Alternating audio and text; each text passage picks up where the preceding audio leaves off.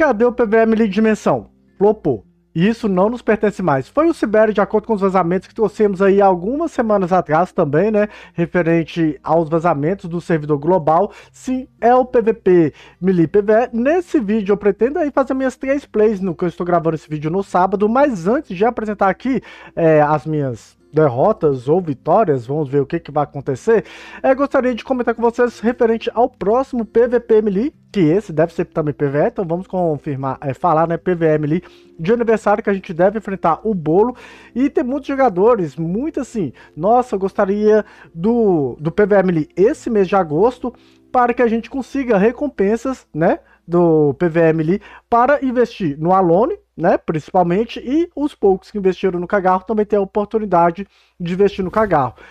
No Cagarro não adianta, é leite derramado, chorar aí pelo Cagarro, porque já foi, é esse que nós teremos. Mas se olharmos as datas do próximo PVP Melee, que eu acho que vai ser PVE, de acordo com o histórico né, da GT também, que eles sempre lançam em setembro, o PVM ali, ele vai acontecer exatamente dia 23 barra 24 de setembro.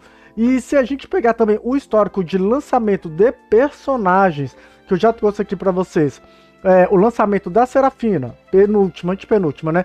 Ele aconteceu no dia 21, lembrando que o banner de SS/X dura duas semanas, então daria para pegar se eles lançassem no dia 21, mas foi bem atípico a Serafina, né? Lançar banner no final do mês, isso não acontece.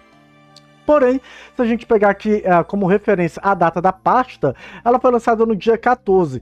E se pegarmos aqui também o não um cronograma aqui de setembro, se o Alone ele chegar nos duelos sagrados no dia 6 e o Jamiel ficaria aí no dia 13, né? Nesse caso, e ele entrasse no banner dia 13, o banner dele só seria encerrado no dia 26. E caso ele seja lançado no dia 6 nos duelos sagrados e no banner no dia 13, nós pegaríamos a primeira semana do PVM ali, que daria no dia 23 e no dia 24, de acordo com o cronograma, né? Pode ser alterado? Pode, mas não foi alterado até o momento, né? Acredito que não deva ocorrer também essa alteração tão cedo, mas enfim, é, se acontecer isso, deles lançarem no dia 6, poderemos pelo menos pegar é, as recompensas parcialmente do PVM ali e tudo que a gente economizou de bilhetes aí na nossa continha para usar tudo no Alone, para quem for investir no Alone também. Quem não for investir no Alone, vai pegar aqueles recursos e gastar em algum outro personagem futuro, o Aqueronte, por exemplo, né? Que a gente não sabe se ele vai se tornar um personagem meta ou não até o seu lançamento. Eu achei o Aqueronte até razoável, né? Ele pode receber ainda buffs, já que a gente só viu a versão dele 1.0 até o momento. O que restou pra gente agora é somente aguardar, né? Ver se o Alone vai ser inserido antecipadamente nos duelos sagrados, tá certo? Antes do dia 6. Se acontecer dele ser inserido antes, aí flopou. Mas o evento de aniversário normalmente é na segunda semana. Talvez tenha alguma preparação aí. Fica aquele hype mesmo pra ver se o Alone vai ser inserido no dia 6. Seria, podemos dizer, a primeira semana, embora seria a segunda atualização que receberíamos aí no mês de. Não, é a primeira semana que vai ter a atualização anterior, dia 30 de agosto. Aí a primeira semana, dia 6. Então eu tô com essa expectativa, não quero criar é, boas expectativas que isso vai acontecer com vocês, mas que se acontecer, que tem grande chance de acontecer, poderemos pegar aí o PVM ali e aproveitar os recursos dele no Alone. O que a gente vai perder mesmo é 5 bilhetes da segunda. 5 bilhetes não, não é 4 bilhetes da segunda semana. Esse aí vai ser o prejuízo. Mas seria um prejuízo ainda maior para quem for investir no Alone, no caso, se ele for ser é, lançado antes do dia 6. Mas o dia 6 é a semana que deve começar os eventos de aniversário do Global, tá certo? Então, passado aí para vocês, vamos agora brincar um pouquinho aqui com o PVP Melee. Não esqueça aí que quem for esquipar também, comprar seus bilhetes. Eu só vou usar aqui o meu 5 mesmo, padrãozinho. E me desejem sorte, né, galera? E vamos ver o que, que acontecer, vai acontecer aqui. É, todos inimigos, né, vão Acho que. Eu, nossa, eu não li a regra ali. Acho que eles recebem buff de 20% quando elimina alguém, ou acho que é isso. Ok, o cara mudou a build ali igual eu também, só que a gente já começou aqui com a vantagem do Defteros, passa na frente, aquela build ali, né, de tentar um ATK aqui, vamos ver se vai dar certo ou não. Eu acho que não, porque ele veio ali com o Camus, muita sacanagem o cara ter vindo com o Camus, Mas já vamos neutralizar ali a, a nossa amiguinha. Aqui eu acho que eu já perdi, né? Mas vamos ver o que, que vai acontecer aí nessa luta. Não sei se eu aumento aqui. Se eu consigo dar um ATK em todo mundo.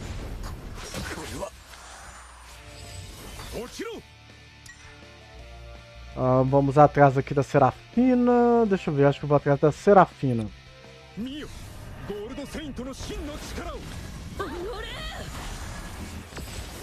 Eu posso usar a estratégia aqui do pular a vez do Afrodite, tá? Que é o que eu devo fazer aqui pra não causar muito dano ali no... No Camus e ver se alguém vai tancar aqui do meu time. Eu quero só eliminar só a Serafina mesmo e boa.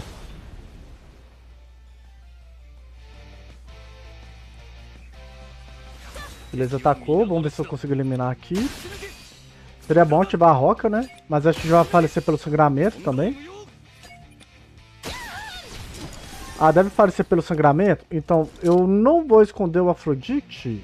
Ele tá até com PV até ok. Só que ele tem um Afrodite dele também. Vou esconder aqui e perder a vez. Beleza, faleceu ali.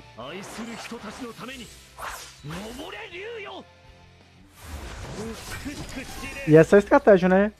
Na hora que enfrenta o Camus, é muito counter dessa build um, um Camus. Beleza. Ai, o Defteros. Eu, eu, queria usar o Defteros pra acelerar aqui o Camus, mas infelizmente muito hip nessa situação. Pô, mas olha só, velho.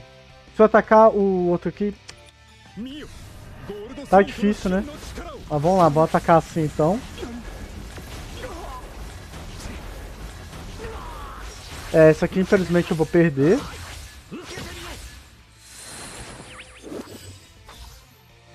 É, vamos desistir aqui porque essa aqui infelizmente rip total por causa de um Camus. Cara, olha só, só tipo, um Camus na build e você já perde.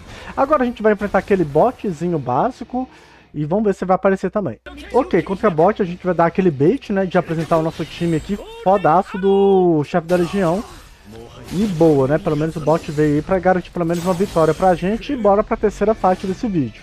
Vamos ver se ele vai mudar o time. Não, aqui eu acho que eu tô não sei se eu vou pegar a vaquinha aqui, mas já conseguimos neutralizar o combinho dele aqui, né? Ou acho que eu vou pegar a vaquinha, galera. Né? Porque essa build que o cara tá usando aqui tá muito estranha. Vamos colocar aqui no Aldeba. A minha Juni começou a jogar primeiro. Isso é muito loucura, a Juni jogar primeiro. Então pode buffar ali, porque a gente vai neutralizar ali o, nosso inimigo aqui com a Juni. E já vamos dar aquela curada ainda por cima. Eu acho que vou fazer aquele OTKzinho na roda da 1. Vamos ver se isso vai acontecer. Inclusive, eu já trouxe essa build aqui pro, no canal, né? Da build OTK com Afrodite Milo na roda da 1, né? Pra quem acompanha os vídeos de PVP aí, já deve ter visto esse, essa temática de dar OTK na roda da 1. Ó. Gerou nenhuma energia. Pô, a galera tá gerando energia demais. Ela gerou duas energias, então o Milo já vai ficar monstro aqui, cara. Vamos eliminar a Luna dele aqui.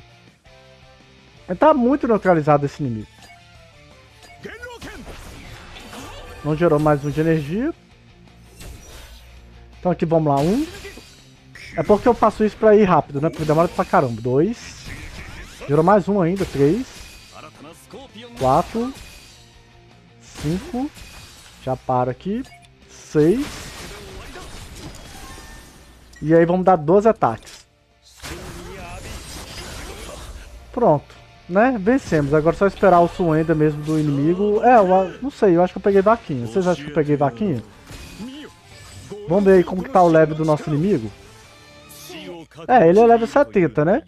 E é isso. Então conseguimos aí a nossa segunda vitória. Já fiz aí as minhas três diárias também, né? Pra garantir aquela premiação aqui.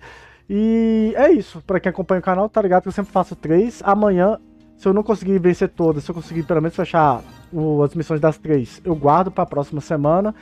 Não sei se vai virar vídeo, mas pelo menos tá aqui para vocês o PVP Melee e também, né, essa especulação minha que pode acontecer do Alone estar assim entre o banner do o banner do Alone está no PVM Melee de aniversário, tá certo? E espero que isso aconteça. Mas se vocês acham que isso não vai acontecer, deixe aí nos comentários. Lembrando que o Aqueronte ele vai ser lançado, ainda a gente não sabe como vai ser sua versão final, apenas o conceito do personagem ainda no servidor de teste, mas se vocês ainda querem acumular algum recurso para ele, já fica ligado, né?